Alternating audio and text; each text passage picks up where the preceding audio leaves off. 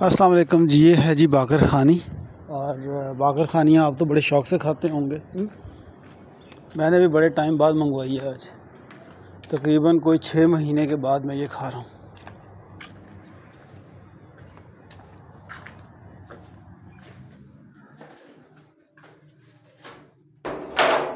باقر خانی کون سا کھانا آسان ہے؟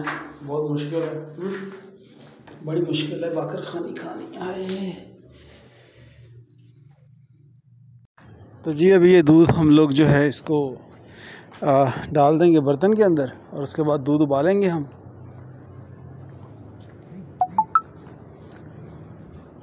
دودھ ابالنا کون سا آسان کام ہے یار؟ بڑا مشکل کام ہے دودھ ابالنا it's not easy to boil the milk and and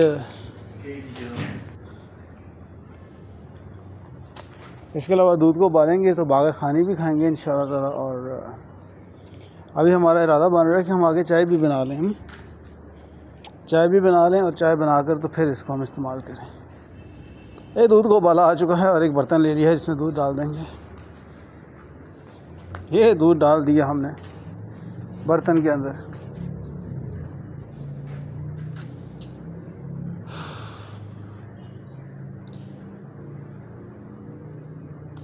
ابھی ہم نے پوا لے لیا ہے اور اب ہم لوگ اس کو چائے بنانے کے پروسیس کی طرف چل پڑیں گے۔ جب بھی چائے بنائیں تین چار دفعہ اس کو ضرور ہلائیں۔ ادروائز چائے کا مزہ نہیں آئے گا آپ کو۔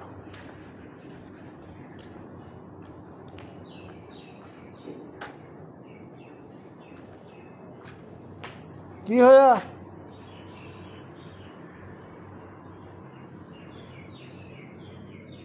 تو جناب دودھ ابل گیا ہے اور اب ہم لوگ چائے جو ہے وہ رکھ لیں گے اور انشاءاللہ ابھی ہماری چائے جو ہے ریڈی ہونا شروع ہو جائے گی۔